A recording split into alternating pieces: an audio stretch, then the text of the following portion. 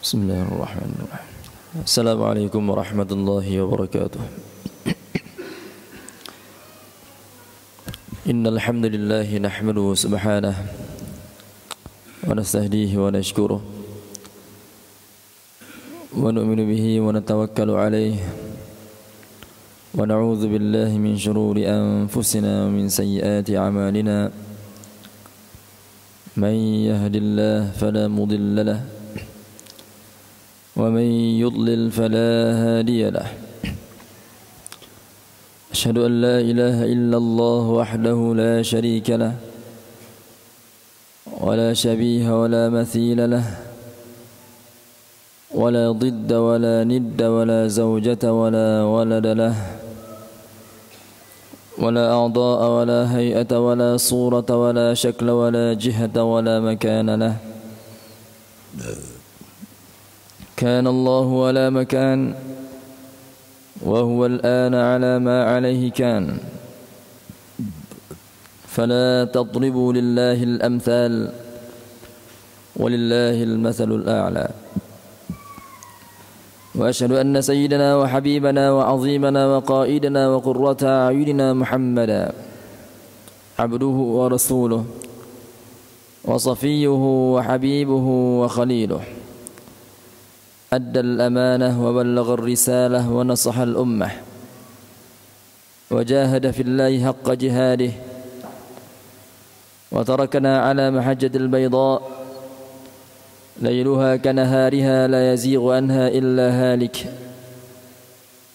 فجزاه الله عنا خير ما جزى نبيا من أنبيائه. اللهم صل على سيدنا محمد صلاة تقضي بها حاجاتنا. وتفرج بها كرباتنا وتكفينا بها شر أعدائنا وسلم عليه وعلى آله سلاما كثيرا. وقد قال الله تعالى في كتابه الكريم وأصدق القائلين بعد أعوذ بالله من الشيطان الرجيم. يرفع الله الذين آمنوا منكم والذين أوتوا العلم درجات. صدق الله العلي العظيم. قال النبي صلى الله عليه وعلى آله وصحبه وسلم طلب العلم فريضة على كل مسلم أو كما قال رسول الله صلى الله عليه وعلى آله وصحبه وسلم أما بعد الحمد لله ثم الحمد لله Pertama sekali sama-sama kita ucapkan syukur kita kepada Allah Subhanahu wa taala. Karena pada malam yang berbahagia ini Allah Subhanahu wa taala masih lagi berikan kesempatan kepada kita untuk sama-sama kita berkumpul dan berhimpun di tempat yang yang penuh dengan keberkatan ini tuan-tuan. Baitun min buyutillah. Satu rumah dari rumah-rumah Allah Subhanahu wa taala. Kita yakin dan pasti tuan-tuan Majlis yang kita adakan pada malam, ini akan mendapat rahmat dan berkat daripada Allah Subhanahu wa taala. Tuan-tuan Allah Subhanahu wa taala di kalangan hamba-hamba yang diutus, di kalangan manusia ini yang diutuskan oleh Allah Subhanahu wa taala ke atas dunia ini. Yang paling afdal di kalangan mereka adalah golongan para anbiya. Golongan para anbiya diutuskan oleh Allah Subhanahu wa taala ke atas dunia ini untuk menyampaikan maslahah manusia untuk dunia mereka dan akhirat mereka. Dan di kalangan para anbiya tersebut Allah Subhanahu wa taala memilih mereka 313 di kalangan mereka itu di kalangan mereka itu terdiri di kalangan para rasul yang tentunya kedudukan mereka lebih tinggi daripada dari apa dari kedudukan para anbiya yang biasa.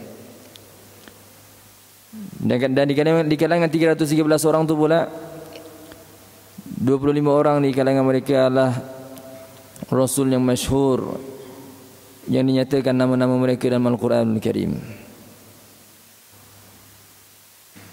Dan seluruh para ambiya itu tuan-tuan Mengajar manusia Kepada mentauhidkan Allah subhanahu wa ta'ala. Kesemua manusia, kesemua para ambiya menyuruh manusia kepada mengesakan Allah Subhanahu wa taala.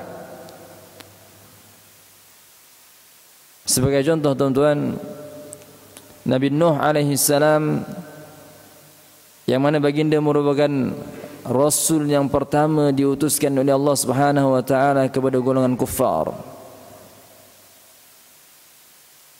Rasul yang pertama diutuskan kepada golongan kufar bukan rasul yang yang bukan rasul yang pertama diutuskan secara mutlak tidak. Karena rasul yang pertama diutuskan secara mutlak adalah Nabi Adam alaihi salam. Yang mana kenabian dan kerasulan Nabi Adam alaihi salam tersebut sabit berdasarkan hadis dan ayat suci Al-Qur'anul Karim.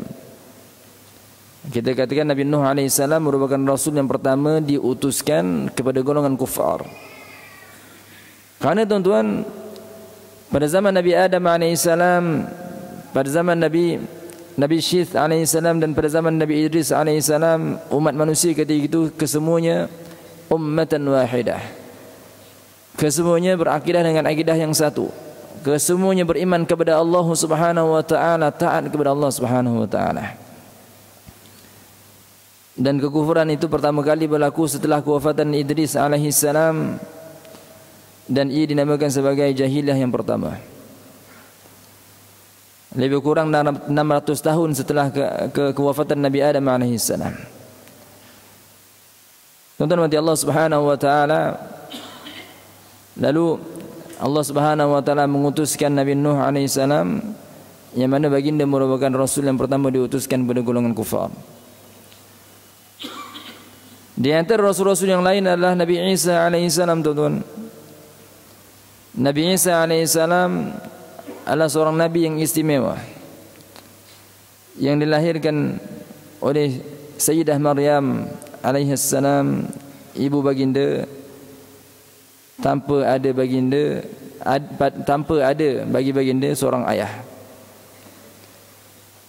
Dan Nabi Isa alaihissalam digunakan mujizat yang berbagai oleh Allah Subhanahu wa taala dan salah satu daripada mujizatnya beliau mampu menghidupkan manusia yang telah pun meninggal dunia. Taib.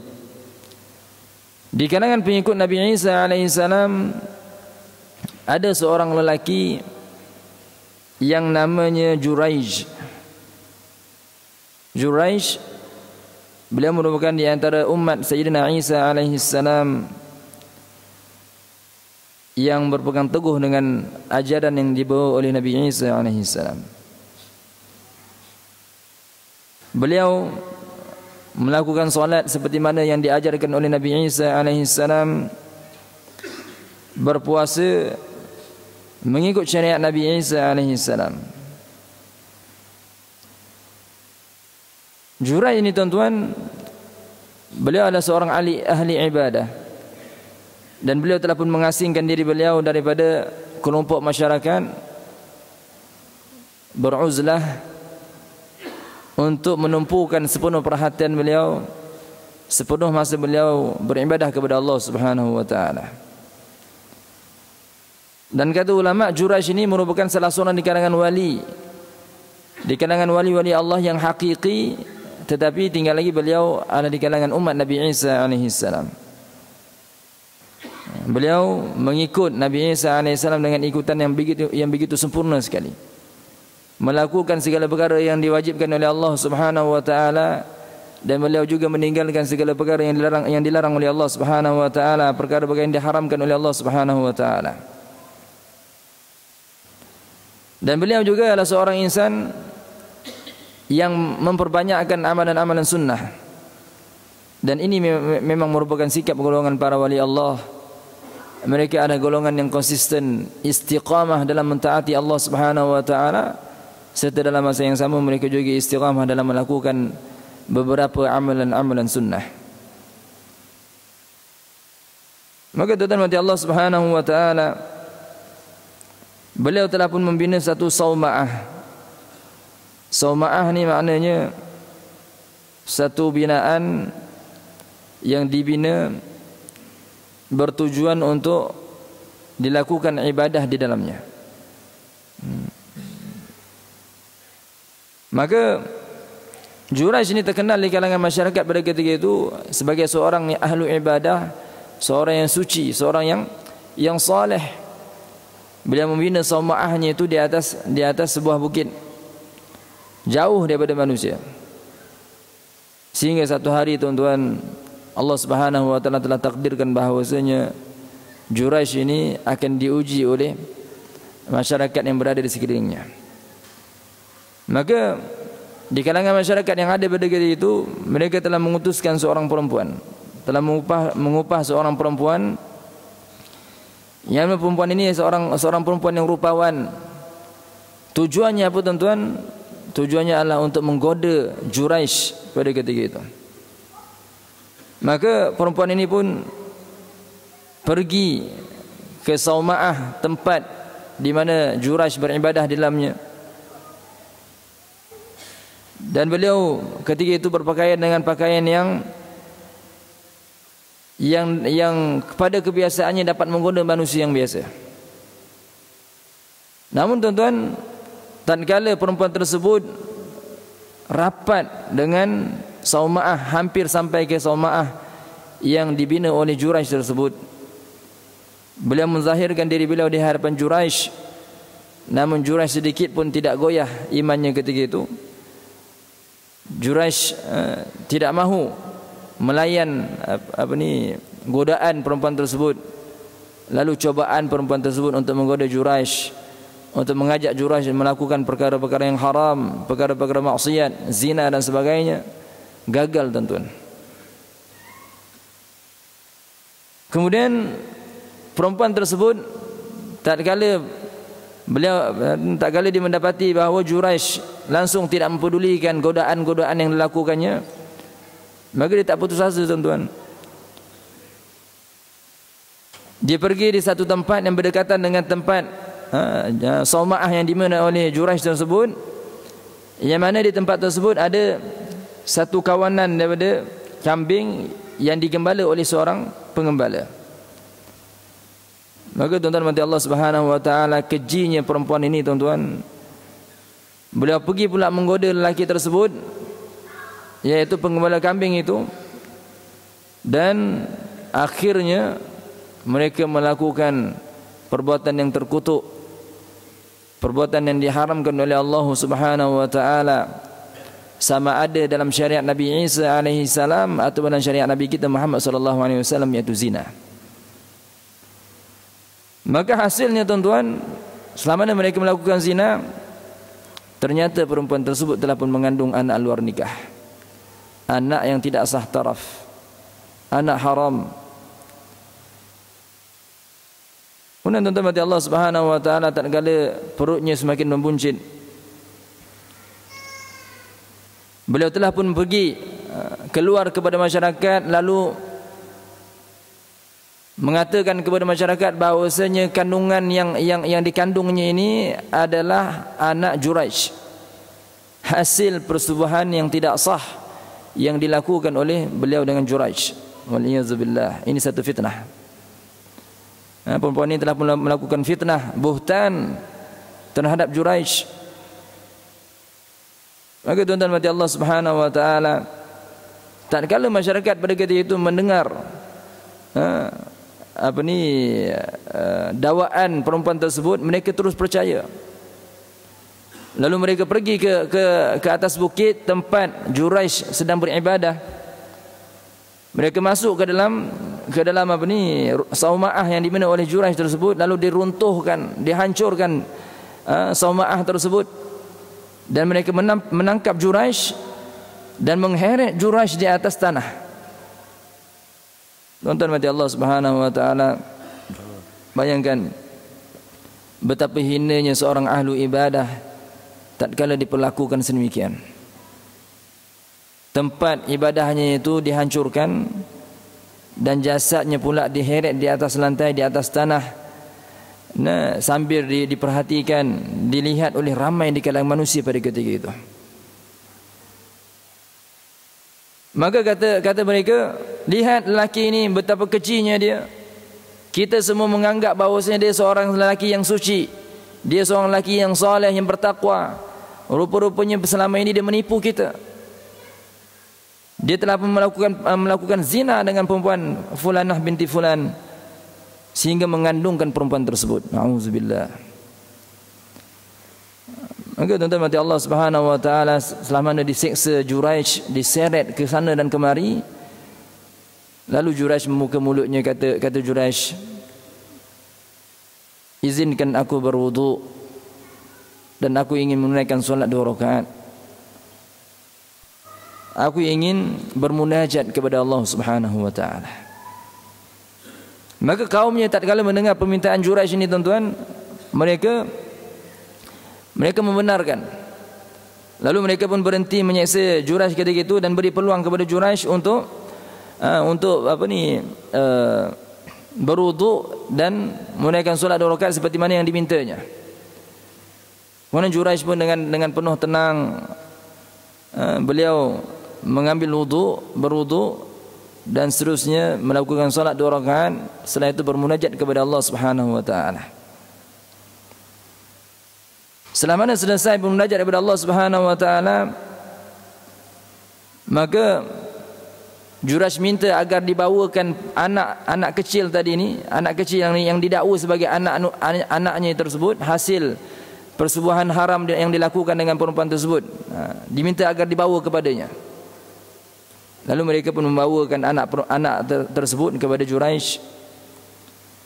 Maka tuan-tuan mati Allah Subhanahu wa taala Juraish pun melihat tepat kepada anak tadi ini. Lalu kata Juraish dengan penuh tawakal kepada Allah Subhanahu wa taala, "Ya gulam, man abuka?" Wahai anak kecil, siapakah bapamu? Bayangkan tuan-tuan anak anak ketiga, anak tersebut masih lagi kecil.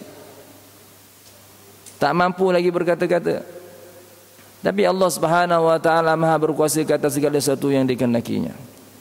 Allah Subhanahu wa taala Maha melakukan apa jua yang dikehendakinya. Allah Taala Maha berkuasa ke atas segala sesuatu. Masya Allahu kan wa ma lam yasha lam yakun. Apa jua yang Allah Subhanahu wa taala kehendaki berlaku pasti akan berlaku. Dan apa jua yang Allah Subhanahu wa taala tidak kehendaki berlaku pasti perkara tersebut tidak akan berlaku. apa jua yang Allah Subhanahu wa taala kehendaki berlaku kalau kita eh, sekalipun kita tidak mahu perkara tersebut berlaku maka pasti perkara tersebut tetap akan berlaku tetapi tuan-tuan apa jua kemahuan kita kehendak kita untuk berlakunya satu perkara seandainya tidak diizinkan oleh Allah oleh Allah Subhanahu wa taala maka pasti kehendak kita tersebut tidak akan tidak akan berlaku maka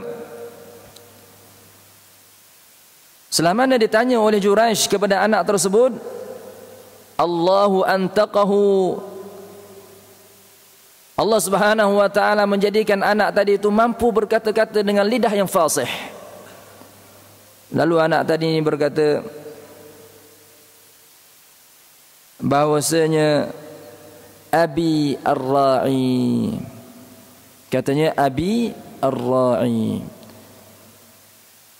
Anak tadi ni tuan-tuan walaupun kecil masih lagi kecil mampu berkata-kata dengan lidah yang fasih, suara yang jelas sambil didengari oleh manusia-manusia yang ramai yang yang yang hadir ketika itu. Kata beliau Abi Ar-Ra'i, bapaku adalah pengembala kambing. Subhanallah.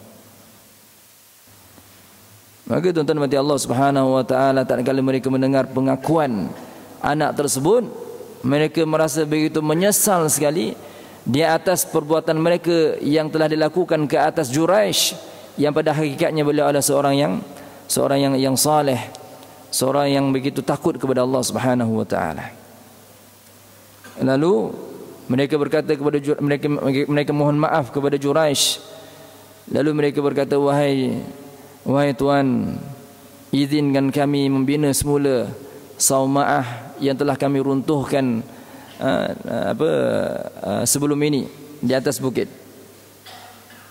Maka kata kata mereka sebagai uh, sebagai ganti terhadap perbuatan-perbuatan yang telah kami lakukan terhadap kamu, kami akan membina saumaah yang diperbuat daripada emas di atas gunung, di atas bukit. Maka kata Juraish, qal, maka kata, katanya la tak payah U'iduha kama kanat min tin. Tak payah kamu susah payah. Kamu hanya perlu kembalikan sauma'ahku tersebut tapi dibina daripada tanah seperti biasa. Maka di sini melambangkan zuhudnya zuhudnya Juraish walaupun diberikan tawaran untuk dibina sauma'ah digantikan sauma'ah yang hancur yang yang apa uh, yang rosak itu dengan dengan apa sauma'ah yang diperbuat pada emas beliau tak terima. Beliau nak agar sauma'ah yang yang dibina oleh beliau tersebut sebagai ganti adalah sauma'ah yang sama seperti sebelumnya iaitu sauma'ah yang yang ala kadar yang dibina daripada tanah. Maka tuan-tuan yang dirahmati Allah Subhanahu wa taala lihat karamah yang Allah Subhanahu wa taala berikan kepada Juraish yang merupakan salah seorang di kalangan pengikut Nabi Allah Isa alaihi salam. Itu kan kita Ahlussunnah wal Jamaah tuan-tuan kita meyakini bahawasanya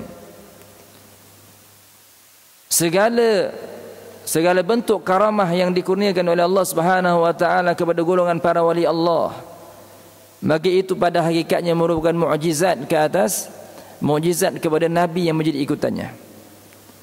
Maka walaupun karamah itu terzahir di tangan Juraish yang merupakan pengikut Nabi Isa alaihissalam tetapi pada hakikatnya ia merupakan mukjizat yang dikurniakan oleh Allah Subhanahu wa taala kepada Nabi Nabi Allah Isa alaihissalam Maka begitulah juga tuan-tuan golongan para wali Allah yang wujud pada zaman Nabi Muhammad sallallahu alaihi wasallam yang yang apa yang terdiri di kalangan umat Nabi Muhammad sallallahu alaihi wasallam setiap karamah yang berlaku ke, ke atas mereka itu ia pada hakikatnya adalah mukjizat ke atas Nabi kita Muhammad sallallahu alaihi wasallam maka itu adalah satu kisah daripada kisah-kisah uh, wali Allah yang terdiri di kalangan umat Nabi Isa alaihi salam. Maknanya tuan-tuan, golongan para wali Allah ini bukan hanya ada pada zaman Nabi kita Muhammad alaihi wasallam saja, bahkan mereka ini telah pun wujud sejak pada zaman nabi-nabi yang terdahulu. Baik. Maka tuan-tuan mati Allah Subhanahu wa taala beberapa pengajaran yang boleh kita ambil dari kisah tersebut. Hendaklah kita tidak terburu-buru dalam dalam menghukum seseorang. Apabila kita nak lakukan satu hukuman, hendaklah kita datangkan dalil dan burhan. Hendaklah kita datangkan dalil dan bukti yang menyokong dakwaan dan tuduhan kita tersebut. Kemudian yang kedua tuan-tuan, pengajaran yang boleh kita ambil daripada kisah Juraj tersebut adalah keyakinan bahawasanya Allah Subhanahu wa taala pencipta bagi segala sesuatu dan Allah Subhanahu wa taala berkuasa ke atas segala sesuatu.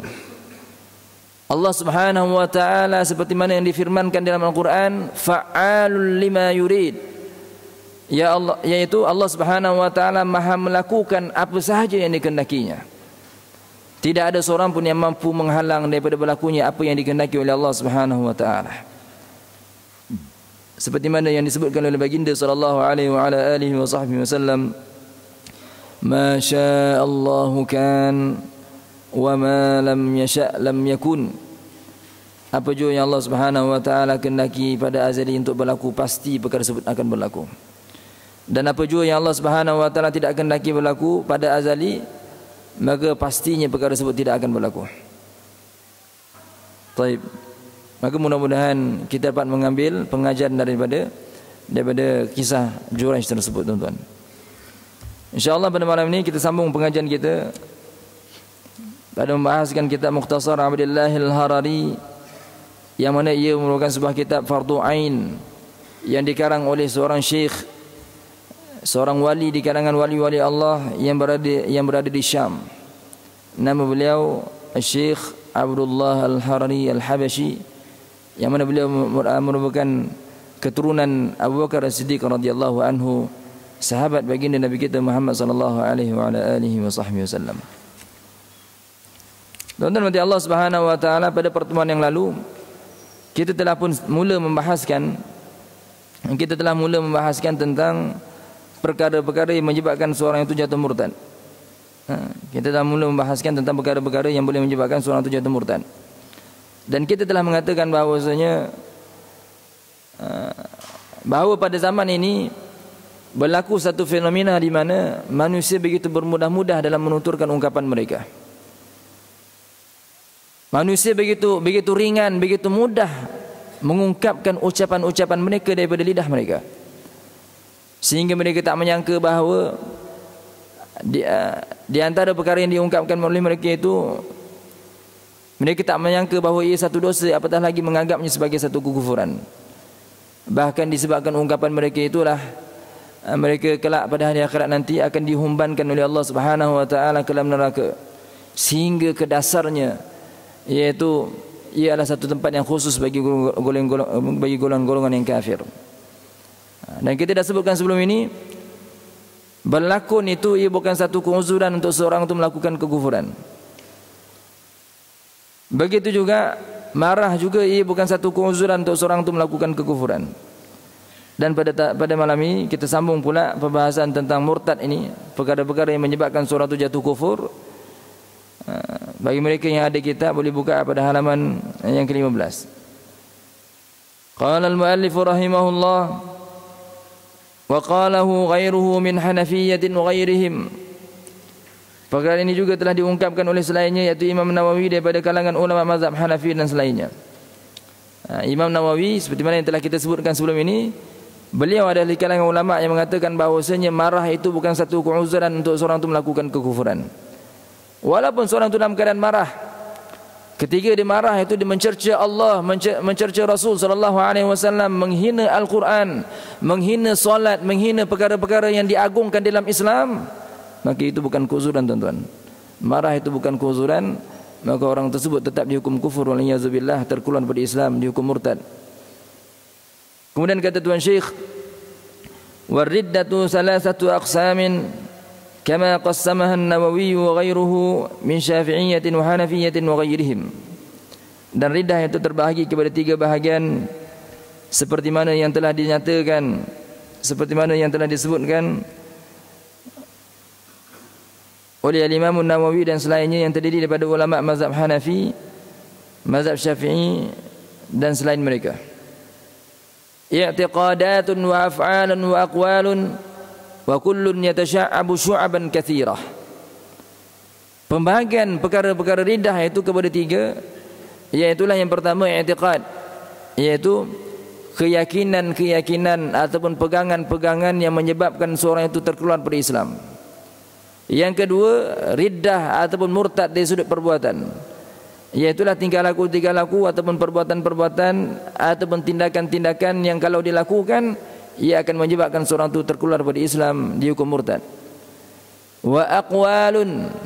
Dan begitu juga ucapan-ucapan yang mana kalau diucapkan oleh seseorang maka orang tersebut dihukum murtad waliyazubillah. Wa kullun yatasha'abu syu'aban katsirah dan setiap daripada pecahan tersebut pula ketiga-tiga pecahan tersebut itu pula akan terpecah pula kepada pecahan-pecahan yang banyak kita akan lihat satu persatu tuan-tuan. Famin al-awwali asyakku fillahi aw fi rasulihi aw al-Qur'ani aw al-yawmil akhir aw al-jannati aw an-nari aw al-thawabi aw al-iqabi aw nahwi dhalika mimma huwa mujma'un alayh. Antara contoh bahagian yang pertama yakni murtad dari sudut i'tiqad ataupun pegangan-pegangan yang boleh menyebabkan seorang itu terkeluar daripada Islam adalah asyakku fillah kata Tuan Syekh iaitu ragu-ragu pada kewujudan Allah Subhanahu wa taala. Maka tuan-tuan mati Allah Subhanahu wa taala barang siapa yang ragu-ragu terhadap Allah Subhanahu wa taala, ragu-ragu terhadap kewujudan Allah, maka sungguh orang tersebut terkeluar dari Islam. Kerana Allah Subhanahu wa taala telah berfirman dalam Al-Quran afillahi syak. Ay la syakka fi wujudih tidak ada sebarang keraguan pada kewujudan Allah Subhanahu wa taala. Kita duduk belajar dalam sifat 20 tuan-tuan. Sifat yang pertama adalah al-wujud yaitu kita meyakini bahawasanya Allah Subhanahu wa taala wujud dan tidak ada keraguan pada kewujudan Allah dan Allah Subhanahu wa taala ada tanpa bertempat itu adalah satu itu adalah pengajaran yang boleh kita ambil daripada sifat yang pertama al-wujud seperti mana yang dibahaskan oleh para ulama dan kitab-kitab mereka ketika mana mereka membahaskan tentang sifat-sifat 20. Al-wujud huraiannya tuan-tuan adalah meyakini bahawasanya Allah Subhanahu wa taala wujud. Tidak ada keraguan pada kewujudan Allah Subhanahu wa taala. Kewujudan Allah Subhanahu wa taala tidak ada mula dan tidak ada akhir. Dan Allah Subhanahu wa taala ada tanpa bertempat. Tidak berada di satu tempat dan tidak juga berada di mana-mana tempat. Allahu mawjudun bila makan. Allah ada tanpa bertempat. Allah Subhanahu wa taala bukan duduk di atas arasy Allah Subhanahu wa taala bukan bersemayam di atas arasy. Allah Subhanahu wa taala bukan di langit, bukan di bumi, bukan berada di mana-mana. Kerana bertempat itu sifat makhluk.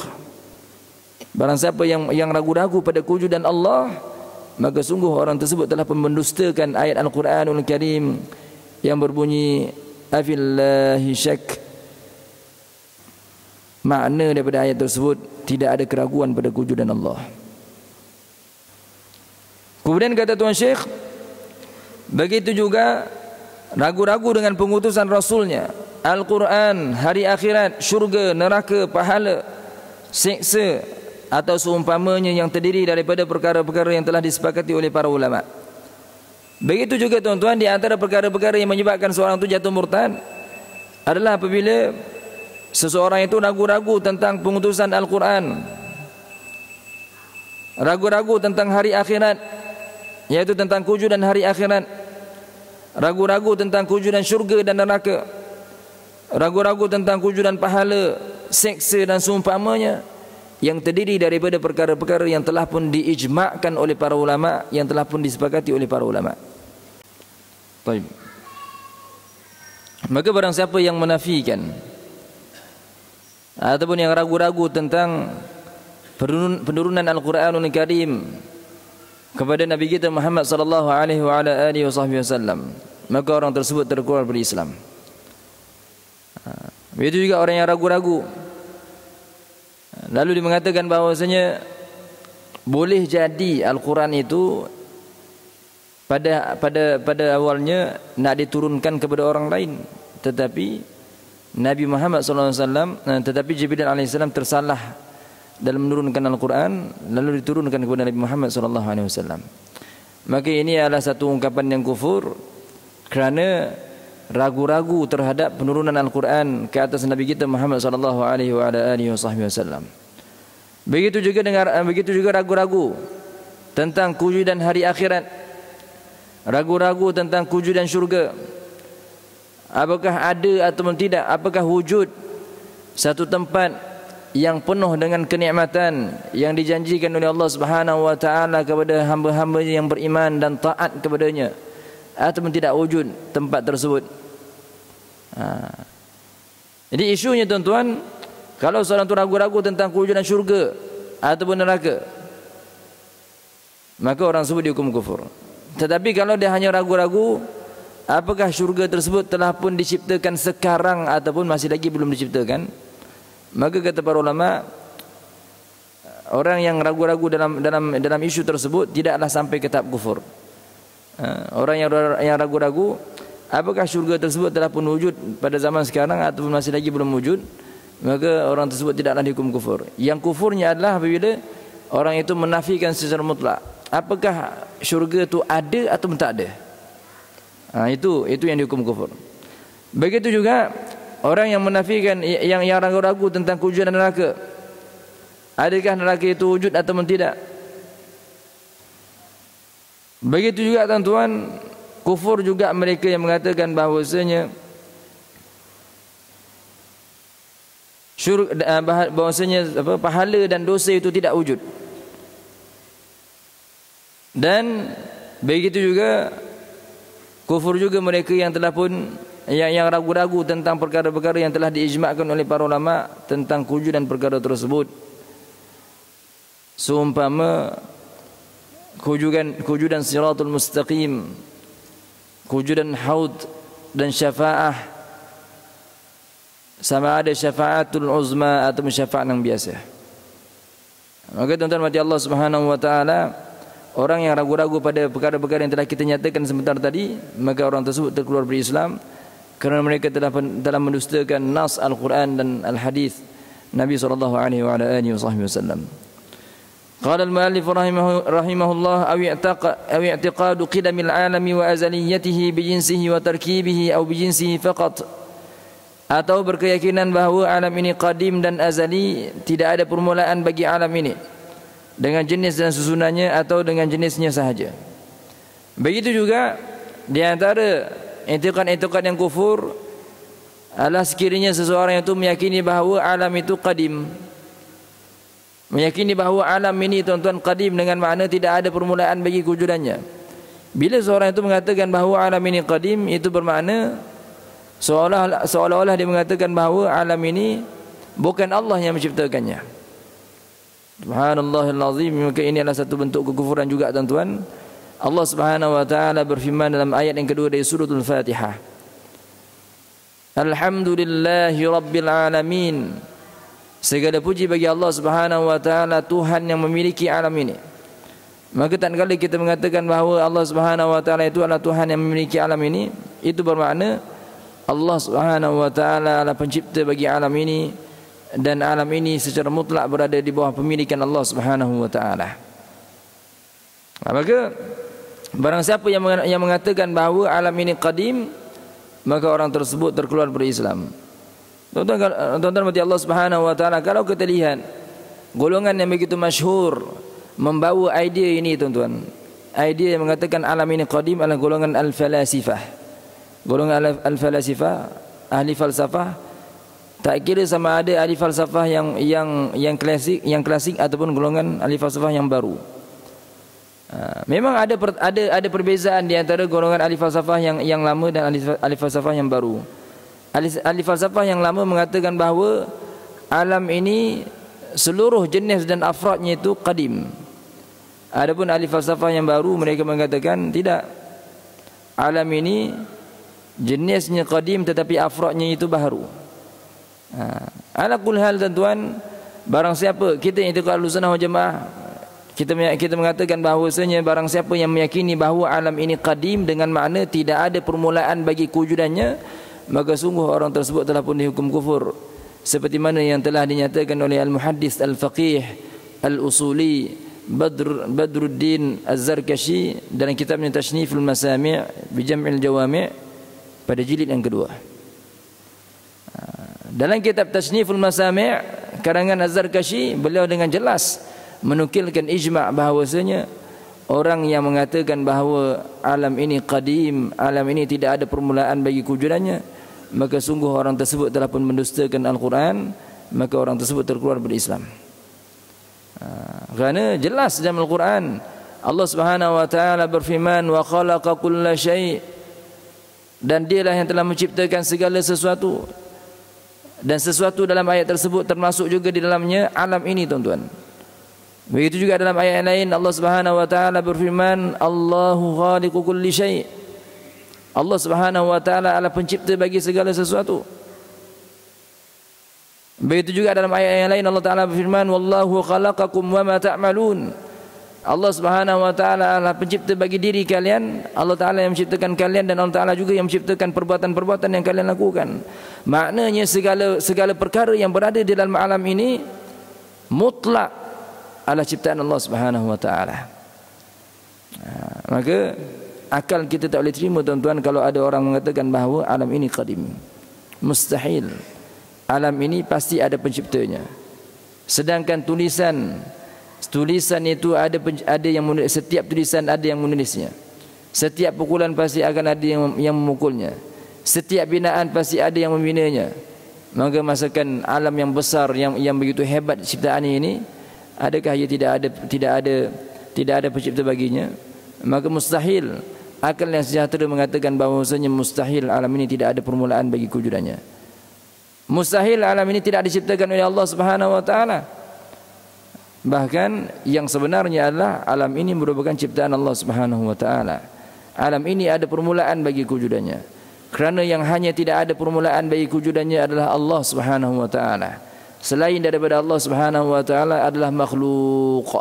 Maka apabila kita mengatakan bahawa selain daripada Allah Subhanahu wa taala adalah makhluk, itu bermakna bahawa kewujudan perkara-perkara yang selain daripada Allah Subhanahu wa taala pasti akan didahului dengan ketiadaan kemudian diwujudkan oleh Allah Subhanahu wa taala. Maka tuan-tuan mati Allah Subhanahu wa taala Tuhan yang menciptakan kita tuan-tuan tak sama dengan kita. Allah Subhanahu wa taala adalah Al-Khaliq, pencipta. Pencipta tidak ada permulaan bagi kewujudannya. Adapun segala perkara yang selain daripada Allah, kullu ma siwallah, ia pasti akan ada ada pengakhiran, ada ada permulaan bagi kewujudannya. Kerana ia dinamakan sebagai makhluk, diciptakan. Bila kata diciptakan, maknanya kewujudan perkara tersebut pasti didahului dengan ketidakadaan. Tak ada terlebih dahulu barulah ada. Dia tak ada terlebih dahulu kemudian diwujudkan oleh Allah Subhanahu wa taala. Ha, itu ha, itu adalah kewujudan makhluk didahului dengan ketiadaan. Adapun kewujudan Allah Subhanahu wa taala tidak ada mula baginya dan tidak ada pengakhiran bagi bagi kewujudannya. Kerana Allah Subhanahu wa taala bersifat dengan sifat qidam dan baqa dan Allah Subhanahu wa taala seperti mana yang disifatkannya dalam suratul ikhlas ayat yang ketiga lam yalid wa lam yulad Allah Subhanahu wa taala tidak beranak dan tidak diperanakkan. Baik. Allah Subhanahu wa taala pencipta Allah Subhanahu wa taala yang menciptakan cahaya dan kegelapan. Namun Allah Subhanahu wa taala tidak sama dengan cahaya dan kegelapan. Allah Subhanahu wa taala menciptakan tempat, namun Allah Subhanahu wa taala tidak bertempat. Allah Subhanahu wa taala menciptakan arah yang enam, namun Allah Subhanahu wa taala tidak diliputi oleh arah yang enam. Allah Subhanahu wa taala berfirman, "Laisa kamitslihi syai' wa huwas samiul basir." Tidak ada satu pun yang sepertinya dan dia Maha mendengar lagi Maha melihat. Qala al-muallif rahimahullah aw nafyu sifatin min sifatillahi al-wajibati lahu ijma'an ka kaunihi 'alima. Atau menafikan salah satu daripada sifat-sifat yang wajib bagi Allah Subhanahu wa taala yang telah pun diijma'kan oleh para alim ulama seperti dia Maha mengetahui. Begitu juga tuan-tuan kufur juga seandainya seseorang itu dia menafikan salah satu sifat yang wajib bagi Allah Subhanahu wa taala yaitu sifat-sifat yang telah pun diijma'kan oleh para ulama yang telah pun disepakati oleh para ulama bahawa ialah ia adalah salah satu sifat yang wajib bagi Allah Subhanahu wa taala. Sumpah menafikan sifat ilm, sifat pengetahuan bagi Allah Subhanahu wa taala ataupun menafikan sifat qudrah bagi Allah menafikan sifat sama basar ataupun iradah bagi Allah Subhanahu wa taala seperti mana yang termaktub dalam perbahasan sifat 20 orang yang menafikan salah satu daripada sifat-sifat yang wajib bagi Allah Subhanahu wa taala maka orang tersebut kata para ulama dihukum kufur terkeluar dari Islam wal billah min zalik. Salah seorang di kalangan ulama tersebut adalah Ibnul Jauzi Al-Hafiz Ibnul Jauzi Al-Hambali ha, beliau mengatakan bahawa man nafa qudratallahi ala kulli syai'in kafirun bil ittifaq barang siapa yang menafikan sifat kudrat daripada Allah Subhanahu wa taala maka sungguh orang tersebut dihukum kufur dengan ijma' para ulama. Kata-kata Ibnu Jauzi Al-Hambali ini telah pun dinukilkan oleh Ibn Hajar Al-Asqalani Al-Hafiz Ibn Hajar Al-Asqalani dan kitabnya Fathul Bari jilid yang ke-6 Ha, maka tuan-tuan mati Allah Subhanahu wa taala difahami di sini barang siapa yang menafikan salah satu daripada sifat-sifat yang wajib bagi Allah Subhanahu wa taala maka sungguh orang tersebut terkeluar daripada Islam dengan persepakatan para ulama. Kerana kesemua dalil-dalil yang menyokong yang membuktikan bahawasanya Allah Subhanahu wa taala bersifat dengan sifat-sifat wajib, sifat-sifat yang wajib yang tertentu tersebut ada dalam Al-Quran dan ada juga dalam hadis. Ha, ini bermakna barang siapa yang menafikan sifat-sifat yang wajib tersebut maka itu juga bermakna bahawa dia telah pun menafikan dan mendustakan Al-Quran dan Al-Hadis. Sebab itulah dihukum kufur na'udzubillah. Qala al-muallif rahimahullah aw nisbatu ma yajibu tanzihu anhu ijma'an kal jism wallahu subhanahu wa ta'ala a'lam wa ahkam. Maka insya-Allah pada pada pada pertemuan yang akan datang kita akan bahaskan pula di antara perkara-perkara yang menyebabkan seorang itu jatuh murtad apabila seorang itu dia menisbahkan perkara yang tidak layak bagi Allah Subhanahu wa taala. Dia menisbahkan jisim bagi Allah Subhanahu wa taala, menisbahkan anggota badan, menisbahkan tempat, menisbahkan arah bagi Allah Subhanahu wa taala dan sebagainya yang ada pada makhluk, maka hukum orang tersebut dihukum kufur dan tafsilannya selagi akan datang perbahasannya pada pertemuan yang akan datang. Ya, tuan-tuan mati Allah Subhanahu wa taala kita mohon kepada Allah Subhanahu wa taala agar dengan keberkatan majlis ilmu yang kita adakan pada malam ini Allah Subhanahu wa taala memudahkan urusan kita Allah Subhanahu wa taala menyembuhkan penyakit-penyakit yang kita alami. Allah Subhanahu wa taala mengampunkan dosa kita. Allah Subhanahu wa taala mematikan kita dalam iman dan mudah-mudahan Allah Subhanahu wa taala menghimpunkan kita semua dalam syurga Firdaus Al-Ala seperti mana Allah Subhanahu wa taala menghimpunkan kita pada malam ini bijahin Nabi sallallahu alaihi wasallam wa bijahi Sayyid Ahmad Ar-Rifai wa bijahi Syekh Abdul Qadir Jailani wa bijahi Syekh Abdullah Al-Harri rahimahumullah amin ya rabbal alamin بارك الله فيكم وأحسن الله إليكم kita tahlil tiga kali dan salawat tiga kali La ilaha illallah La ilaha illallah La ilaha illallah Allahumma salli ala sayyidina Muhammad وعلى آله وصحبه وسلم اللهم صل على سيدنا محمد وعلى آله وصحبه وسلم. اللهم صل على سيدنا محمد وعلى آله وصحبه وسلم. كرمكم الله.